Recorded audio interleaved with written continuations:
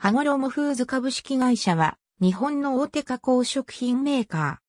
静岡県静岡市駿河区に本社が、また同市清水区に本店がある。缶詰やレトルト食品、パスタ等を製造する。ツナ缶のトップブランド、シーチキンや、シャキットコーン、ポポロスパゲティ、ポポロサラスパなどが有名である。ペットフードや魚油、飼料などの製造販売なども言っている。コーポレートメッセージは、人と自然を美味しくつなぐ。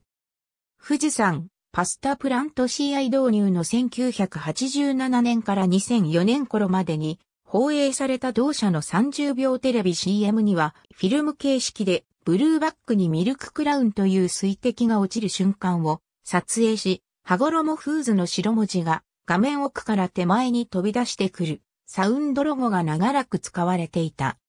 それ以来しばらくサウンドロゴを取り入れてこなかったが、女優の宮崎葵を起用し、2014年11月から放映を開始したシーチキンのテレビ CM から CG で再現されたデジタル対応の新サウンドロゴの映像が使われている。なお、北海道札幌市に本社を置くホテルチェーンの唐上観光のサウンドロゴも、羽衣フーズに類似したミルククラウンが落ちる瞬間を撮影した映像を取り入れている。シーチキンは、ゴロモフーズの清水もつカレー缶等。ありがとうございます。